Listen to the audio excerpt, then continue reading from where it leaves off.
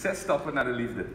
Het is 19 november 2017. 76 uur geleden kwam ik aan op Schiphol. Het is de 323ste dag van het jaar. Nog 42 dagen te gaan om nog in 2017 opvolging te geven aan de inspiratie die ik ook zojuist weer opdeed. Elf sprekers verder sta ik hier. 28 glazen wijn verder sta ik hier nog steeds gespannen, maar met een voldaan gevoel en een glimlach op mijn gezicht. 16 liquor karante itres later concludeer ik dat KLM weer een prachtig feest organiseerde. Dat ik trots naar huis belde vanochtend.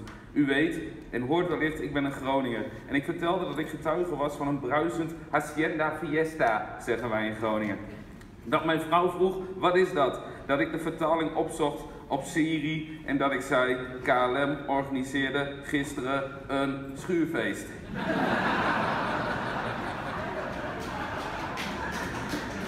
Kom meer, kom meer.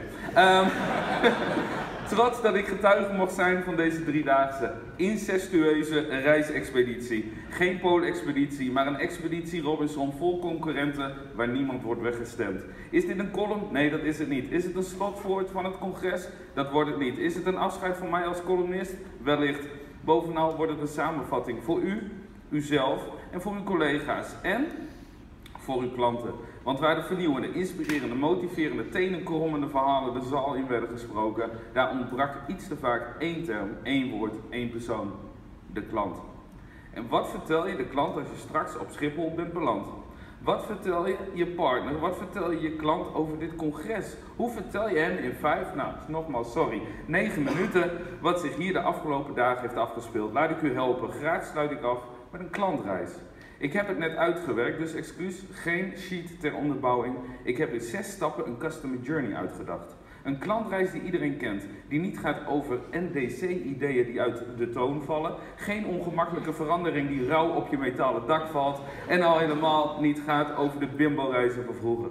Nee, het is een klantreis van een man die een vrouw zoekt. Dat begrijpt iedereen. En misschien is het anno 2017 goed om hierbij te vermelden dat overal waar ik vanaf nu man zeg, u ook vrouw kunt horen of andersom. Stap 1, behoefte.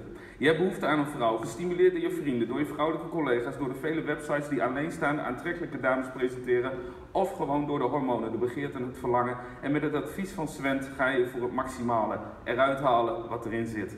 Technologisch en vernieuwend als je bent, kies je voor het distributiemodel dat Tinder heet en je swipet alvast wat dames heen en weer. Stap 2. Oriëntatie. Zoals een reiziger op zoek gaat naar zijn optimale verbinding van A naar B, daar begint je een zoektocht naar een droomvrouw. Je gaat op stap, je zit avonden afwachtend in de hotelbars van bijvoorbeeld Sevilla, zoekend naar wat personal touch.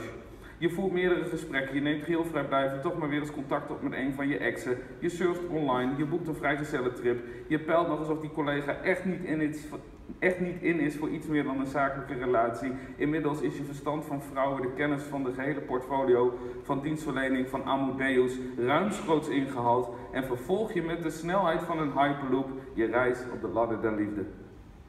Met de precisie waarmee Frank Oosdam zijn speeches voorbereidt, zo soepel struin je de markt der potentiële partners af en dit alles zet je in een top 10 ranking. Een multi-channel benadering waar menig bedrijf een puntje aan kan zuigen. Stap 3 afweging alternatieven. Je leert ze iets beter kennen. De list of love, de lijst der lijsten, je prospects van de liefde. Wie is jouw droomvrouw met wie jij de gehele blockchain aan Casanova skills inzet, alle touchpoints laat excelleren en kennis laat maken met de Cupido met zijn ultieme libido. Aldoende kom je erachter dat de een alleen maar plat Amsterdams praat en de ander naar alcohol ruikt. Dat de een heel weinig praat, maar des te meer verwacht tussen de lakens. En dan heb je ook nog dames die eerst beginnen over kinderen en dan pas over een relatie. En dan heb je ook nog vrouwen die leken te gaan voor je emotie, maar juist op advies van Sven die emotie hebben losgelaten en slechts gefocust zijn op de styling van Sven, genaamd Size Matters. Je, wordt, je top 10 wordt gereduceerd naar een top 3 je alternatieven zijn afgewogen. Alsof je, die, alsof je drie prachtige reisvoorstellen voor je hebt liggen, zo voelt het nu ook. Alsof je de keuze hebt gemaakt voor duurzaam ondernemen. Naïef zijnde dat je nog niet weet dat deze duurzaamheid zonde zal zijn van al je tijd en geld. De journey van een gewillige klant is op stoom. Je nummer 1 staat op het punt veroverd te worden. Stap 4. Aankoop. De nummer 1. Zo'n dame die je verwachtingen overtreft, die luistert naar je verhalen, je frustraties, ze accepteert je ouders. Na een dag te hard werken vangt ze je op met een wijntje. Ze accepteert dat kilootje dat er eigenlijk niet hoort te zitten. Ze kookt en wat mogelijk is een tikkeltje welvarend. En vergeet de upsells niet. Hoe vaak geeft ze jou een heerlijke massage? Wat is het minimumbedrag aan cadeaus dat ze aan je besteedt? Strijkt ze je bloesjes? Neemt ze een krat bier voor je mee als je er niet om hebt gevraagd? Verrast ze jou van tijd tot tijd met een attent cadeautje? Mag je voetbal kijken als eigenlijk Gooise vrouwen de finale van The Voice All You Need, All You Need Is Love Memories en heel Holland Bakt ook op tv is? En houdt ze van je ritmische gesnurk? En mocht het toch niks worden, heb je dan gecheckt of wellicht haar vriendinnen, de buurvrouw of Aerosearch de moeite waard zijn? Nee, je weet het zeker. Deze vrouw is klaar voor stap 5, consumptie. Het resultaat van consumptie is een huisje, een kindje, een trouwerij of een mix van voorgenoemde. Je geniet, je knuffelt, je hebt af en toe een klacht, maakt het snel weer goed, knuffelt weer verder en verrast haar af en toe, maar nog steeds te weinig met een bosje bloemen. Je komt samen dalen door, maar maakt ook pieken mee.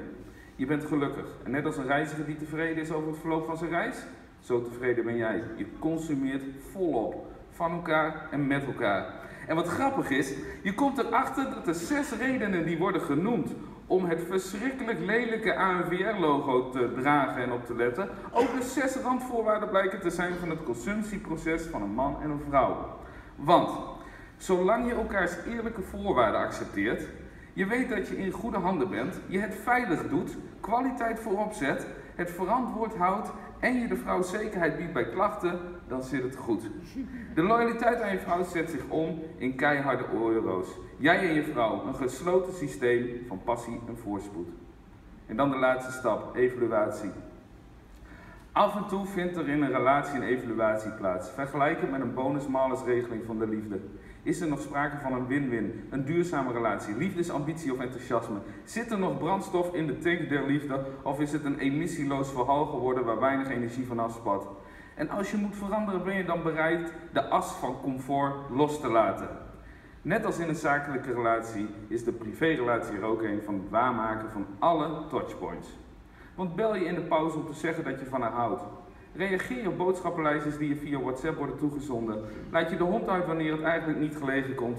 Neem je cadeautjes voor haar mee vanuit Sevilla. Neem je de telefoon op als je er geen zin in hebt. Enzovoort, enzovoort.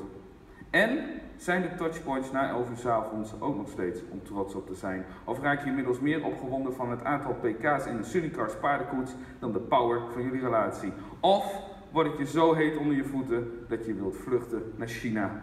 Kortom, gepland of ongepland wordt er geëvalueerd. Eén op één, met vrienden, met collega's en in mindere mate kan een evaluatie plaatsvinden onder toezicht oog van een lagro-advocaat of relatietherapeut.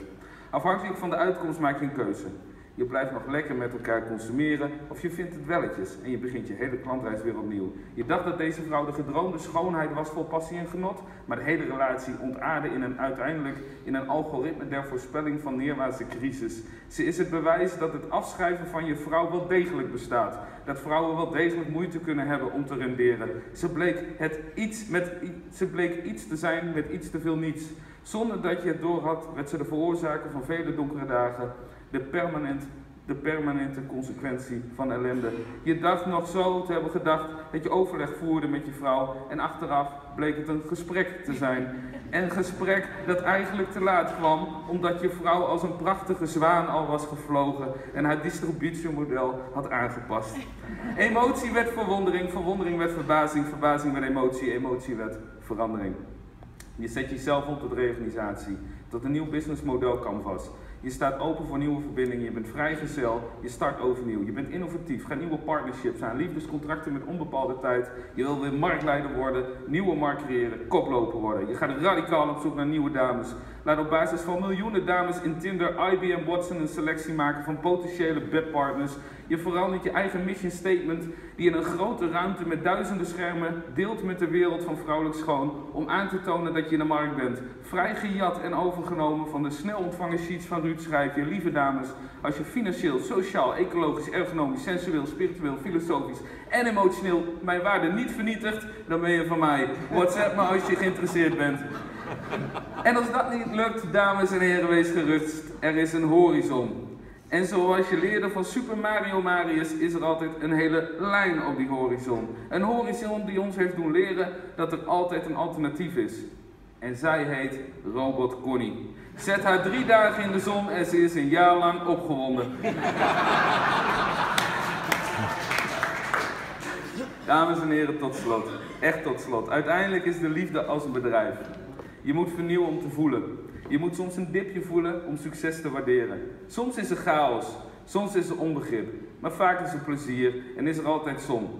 Er is altijd iets aan de hand. En de enige constante is de menselijke ontmoeting vol liefde. De liefde voor de klant aan een tafel, hand in hand. Dank jullie wel.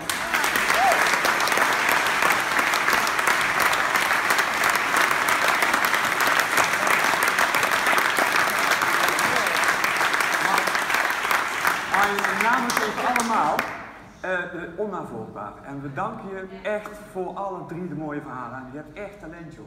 Dus ik hoop... en, maar ja, misschien we hopen de volgende jaren daar ook uh, nog gebruik van te kunnen gaan maken, want dat was echt top. Dankjewel. En dat